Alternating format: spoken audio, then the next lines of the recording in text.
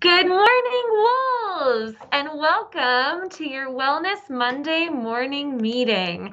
Today is February 8th, 2021, um, and Ms. Kaminsky and I are back in the school building to do in-person learning, which is why we are wearing our masks. we are also in the same office, which is super awkward, isn't it, Miss Miss Kaminsky? It, it has its benefits though, Ms. Vargas, I think. That's true. Now I can just turn around and talk to you as opposed to like me emailing you. It's really nice. Right? Well, we hope that you guys are all handling the transition to hybrid learning well. But today, what we're going to do is we're going to do an asset skill with you today that's all about character strength. So far, we've explored 12 mindfulness tools. Starting today and for the next couple of weeks, we'll explore eight positive psychology tools. Like mindfulness, positive psychology is another practice that can help mitigate the stress and anxiety in our lives. Positive psychology is the scientific study of the strengths that enable individuals and communities to thrive. Essentially, it's a field that focuses on how to help people succeed. In this module, we are going to learn scientifically proven ways to boost our happiness. So our first asset skill that we're going to learn today is all about learning our character strengths. One research-backed way to cultivate happiness is by identifying and using these strengths. So today, we're going to reflect on what makes you unique. Go ahead and take a moment to read this list of character strengths. These character strengths are positive parts of your personality and were created by the psychologists Christopher Peterson and Martin Seligman. They have been internationally validated, meaning that people from around the world value them. We'll pause for a few moments for you to read through these slides.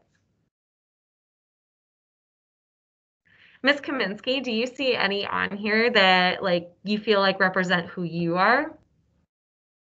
For sure, I definitely think um, humor and um, my sense of hope and fairness pretty much describe me pretty well. How about you, Ms. Vargas? I would say kindness is definitely one of my character strengths.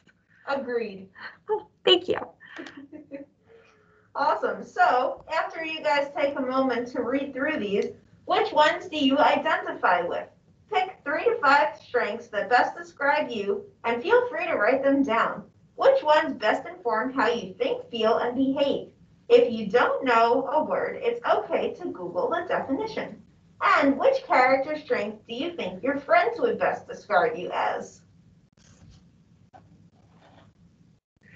Ms. Kaminsky? Yes, Ms. Vargas? Do you know which word your family and friends would use to describe you? I think my family and friends would definitely say that I have a love of learning and that I am very curious. How about you, Ms. Vargas? I would probably have to say mm, humor and persistence. I when I put my mind to something, I can usually get it done. I agree, Ms. Vargas. Thanks. All right, guys. So final step. In your advisory, we're going to go ahead and whip around and share one of your character strengths by either unmuting or posting in the chat. Advisors, if your, if your preference is for students to share out loud, please go ahead and pause this video here. Students, maybe the one you chose to share is your favorite character strength, the strength that you most appreciate about yourself.